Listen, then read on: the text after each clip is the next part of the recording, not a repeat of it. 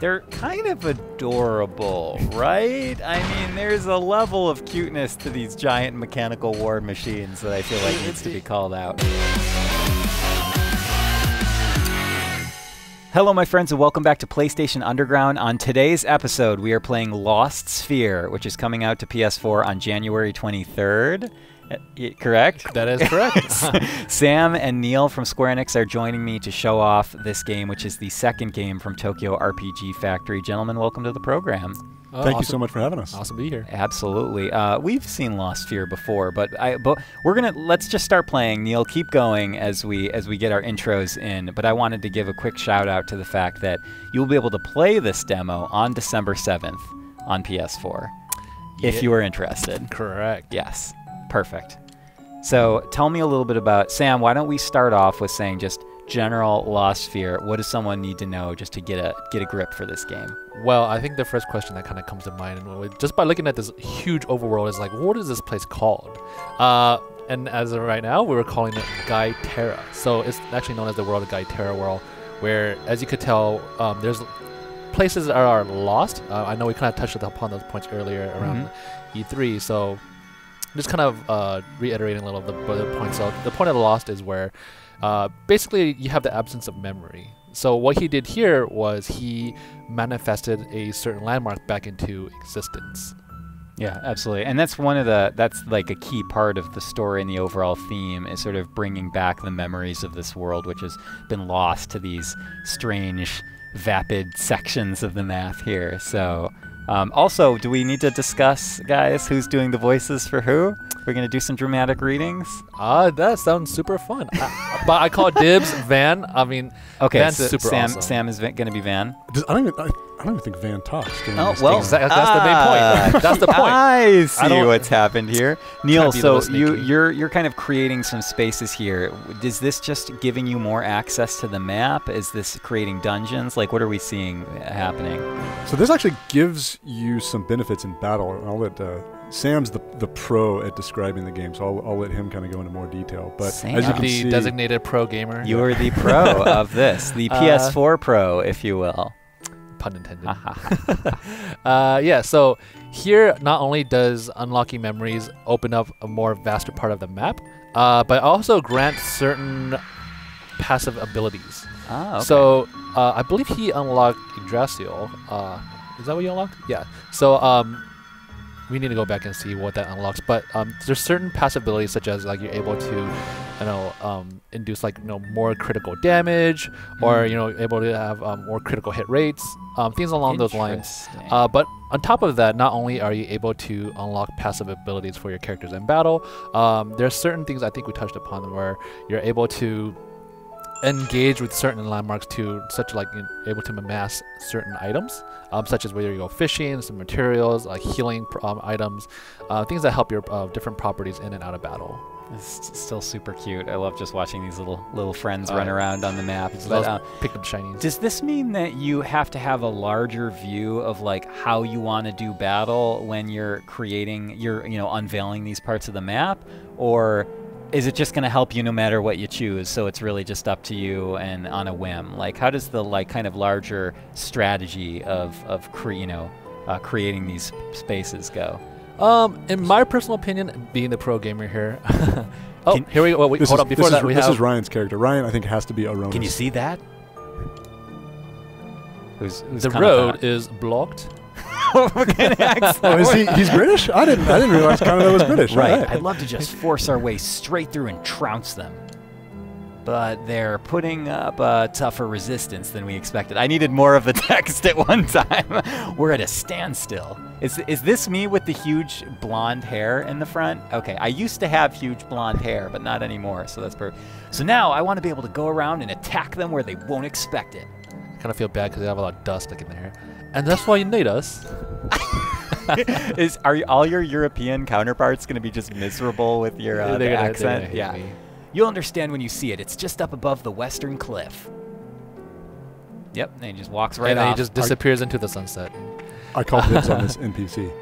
Fate brought us together. Maybe you're fated to buy something too. Ooh, Neil, you were practicing for this day We'll forever and ever. Another indirect reference. Another indirect reference. So, so tell me the battle system. I mean, what are we haven't quite seen a battle yet, so I'm sure we'll see it in, in a hot minute here. But what kind of system is Lost Sphear based on, and how does it differ from um, I Am Setsuna, the uh, first game in uh, Tokyo RPG?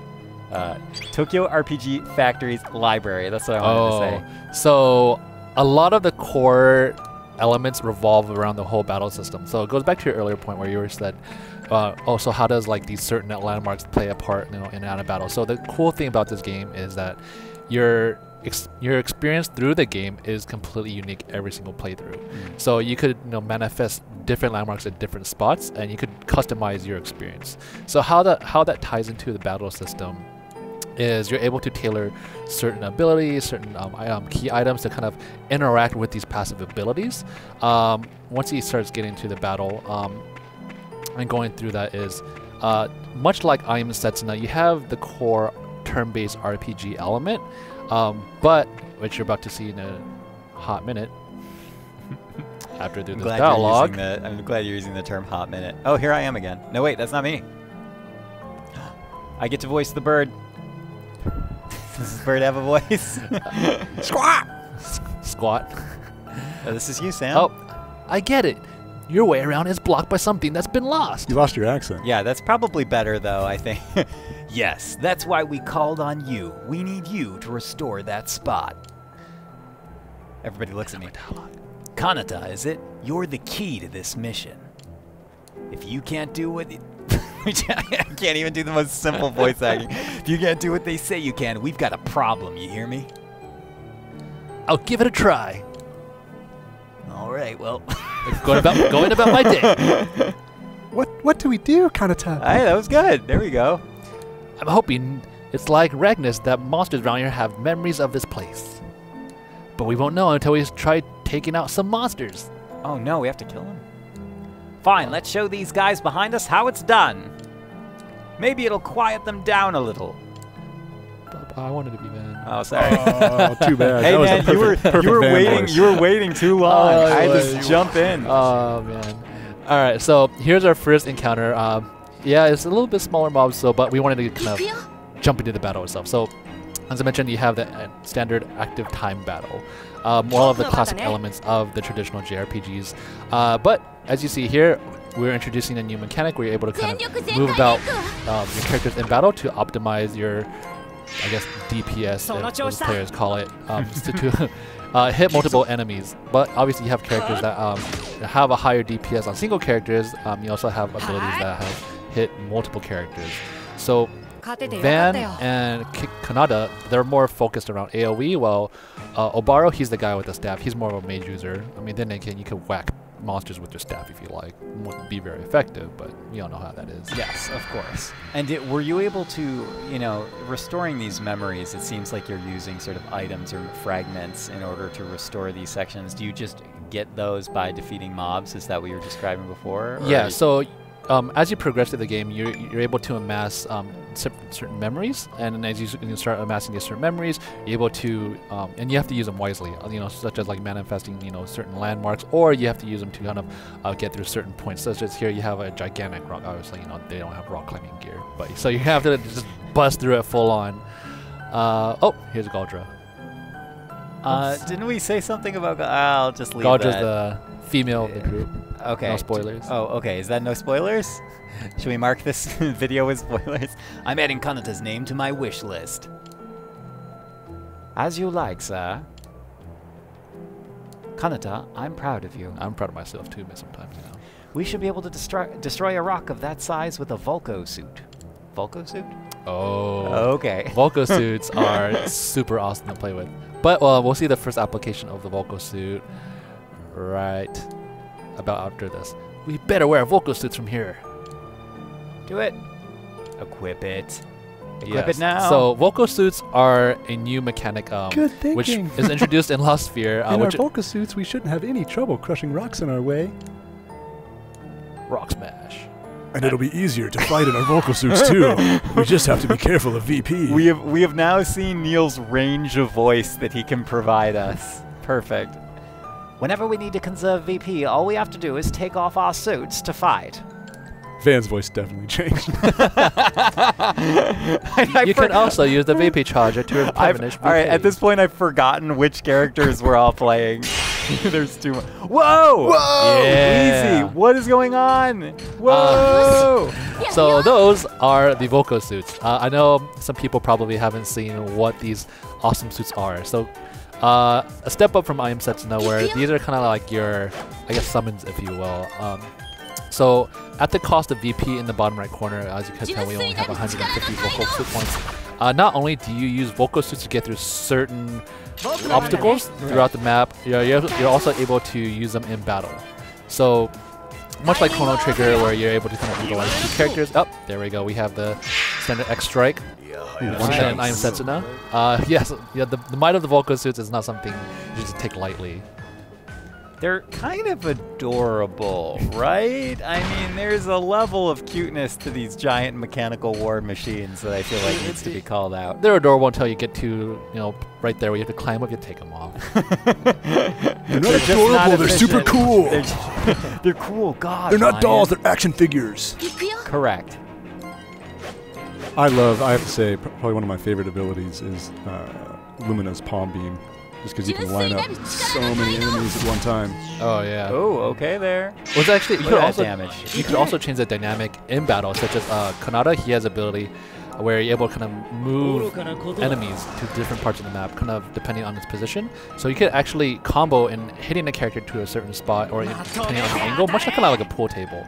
And then you could you know do another AO ability with like Lumina to hit you know that second as, as a serve as a second hit to the character. Did we see any of that kind of strategy in uh, I Am Setsuna, or is that all new to Lost Sphear? Uh, it is actually the ability to move about in battle is actually uh, one of the new mechanics in Lost yeah. Sphere. Yeah. Cool. I know there are certain combos in I Am Setsuna where you're able to gravitate a lot of the characters and then do another AoE ability. But this one, you kind of you, you actually have the control yourself in battle, which is super awesome. Oh, picking up that you have a limit to the amount that a character can move during battle? Is there like a gauge, or can you just kind of position yourself wherever you want to and map it all out? Yeah, so you're able to position, as you can As- see here, anywhere. shown. yep, you can go about wherever you want, wherever the perimeter is. uh, but uh, you'll see later on, there are certain applications to actually uh, more of an invasive strategy as well. Uh, there are certain enemies that have AoE, AoE abilities, so it's best planned that you don't have all your characters at one spot. So what I like to do is have characters at each of the four corners of the map, so they Ah, actually have to pick their choose their targets. Oh no, you're running out of VP. Everybody's transforming. Oh, Yeah, Von's uh, Japanese voice actor has, I think, a much better thing going on than my Got rendition. I love Van. I actually like his weapons a lot. Yeah, they Uh, look like little floating laser cannons. What, do, we, what do we got going on there? So those are actually called bits. Uh, Bits. yes. So you're able to, I guess, summon more of them through certain abilities that he has.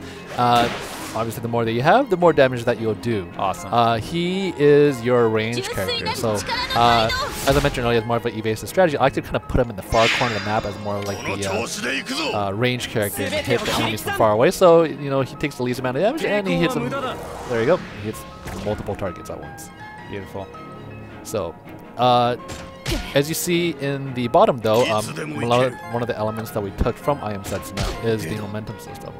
Uh, so, the blue circle that that circle, circles around the image, Yeah, around, Uh, around it- the character portraits. exactly. Yeah. uh, it masses the blue orb. So, whenever you expend that blue orb by hitting the square button on the PlayStation controller, um, you're able to do more damage. And once, so you're supposed to time it once you hit the enemy to um, in, to do more damage to them. um, Oh, like so literally as the action happens on screen, you need to hit the button. Yeah. So rather than Okay, you know so there's a bit of a rhythm element to There it. is. Ah. So rather than monotonously just watching your character, I don't know, attack the enemy, you're actually a little bit more immersed in the battle system itself, which is super awesome. You're taking a more active role in the battle, Sam. yeah. So I know. yeah. yeah. Well, for me back then, like you know, if you compare it to like you know previous RPGs where you're just like playing the waiting game and watching them go about their thing, I'm just like, you know. Twirling my thumbs, watching them do the whole animation. This one is like you actually have to kind of think through the actual battle itself. Now, Neil, I noticed you doing some tomfoolery just now. Did Ah. you change your playable character here? yes. Ah, I wanted okay. Lumina to take the lead. Ah, okay. Kanata okay. needed a break. Who, who are you? Oh wait, is that a female character? I can't tell. I, you know, I'll just read normally. We're the Imperial Command. I'm General Aranus. My name will ring out through history. Uh, Imperial Command. Run away! Run away! I'm just apparently voicing all the characters now. I like it. I like Resist it. if you like. In fact, I want you to. So, Aronis seems a little mean, right? Just a bit. Yeah, so not too much is known around. Uh, not, we actually haven't revealed much about Aronis at this point. So All right. uh, I I'm don't want just to gonna go with my initial assumption. that He's a little mean and may very well uh, be a terrible villain. Who knows? That's for the players to That's find that's out. for the players to find out and for Us to know and Ryan to to speculate. exactly. Uh, Galdra has probably one of the coolest animations like in the game, in my opinion. I just also, like the love the design suit of armor. Yeah, uh, Galdra. I mean, why do you have armor on top of armor, right? for extra armor. Extra armor, yeah. Yeah, You need armor bonuses. I kind of feel bad for these enemies over here. くよ Are they a little? Uh, are we a little overpowered now with Galdra in the mix? Yeah, so in this demo, um, you know, just so we the players get a feel for how the you know, gameplay is, uh, they're gonna be facing a few easier enemies. Uh, but um, as you could as later on as the game progresses, you'll face much tougher enemies. So. Uh, it's your knowledge of the battle system that actually plays a very integral part to how you strategize different engagements, and it's, it becomes a very integral part of positioning and a mixture of you know um, utilizing remembering you have to oh you have to use the blue momentum um, orbs. Um, it also comes to say that you also have to ration your VP, um, so you don't expend everything, spend it all one place as they call it, right? Yeah, So- absolutely. Yeah, Uh, so Neil, keep going. I'm going to ask some more philosophical questions here, but with with Lost Sphear, uh, well, let me back up. In I Am Setsuna, I know the Tokyo RPG Factory, the developer, really wanted to convey a sense of melancholy and a sense of remembrance there. Um, is there an overarching theme or a, a, a tone or a feeling that the developers want to portray with Lost Sphear?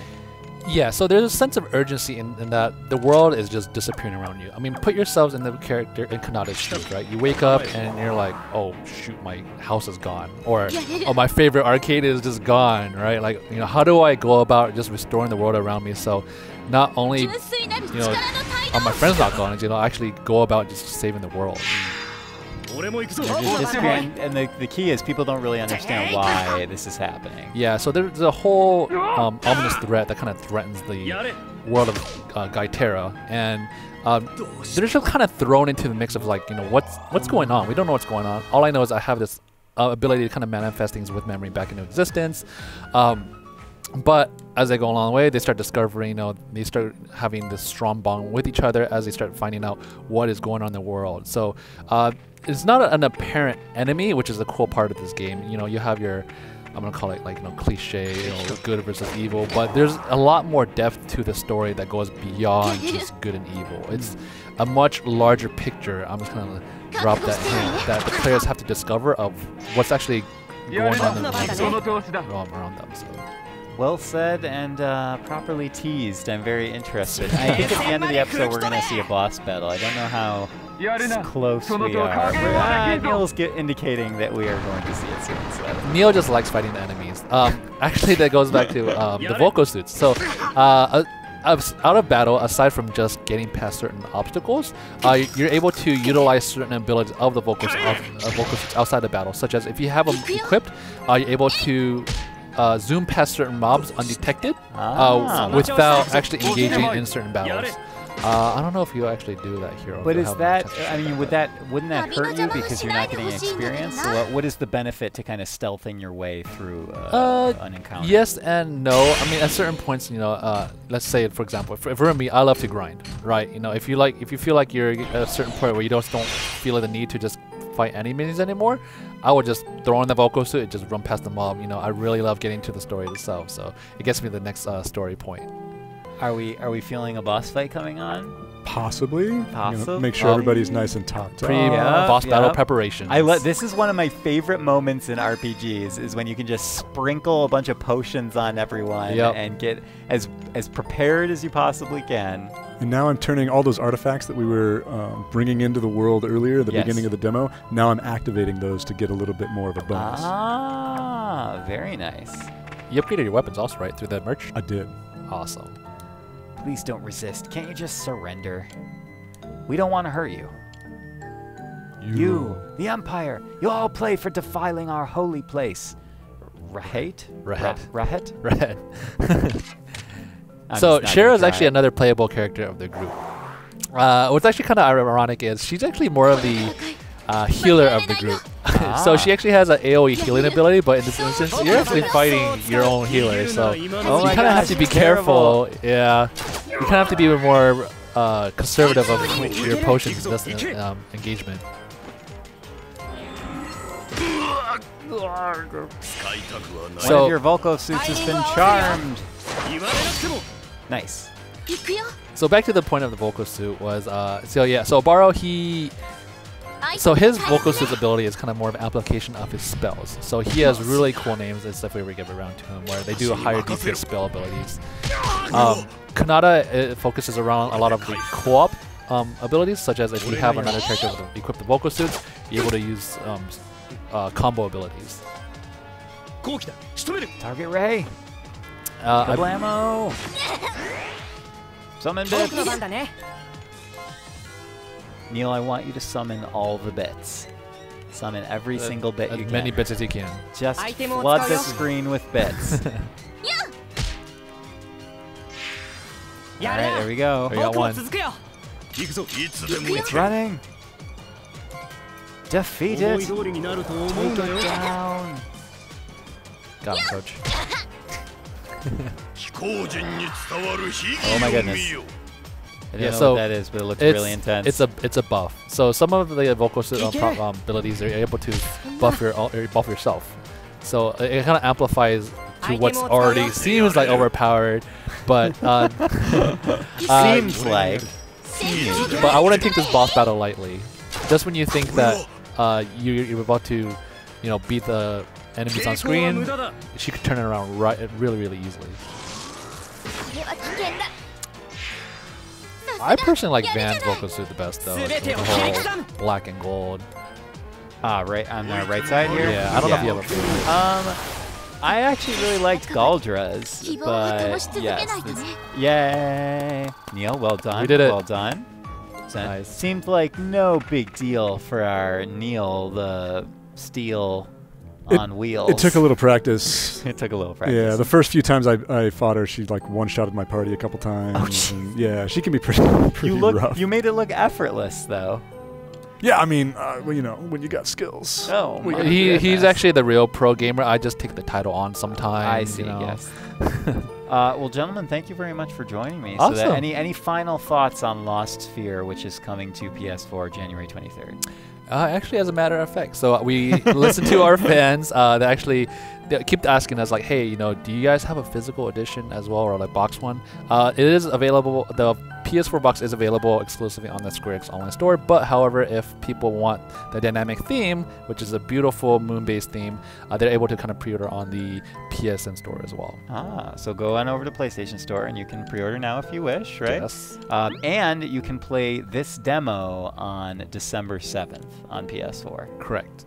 This Yeah, one, the one we're looking at, This one. the one we're playing. This one. You did. They're gonna rip the controller right out of your hands, Neil, and they're gonna play it for Uh, themselves. Voices Uh, come separate. Yes.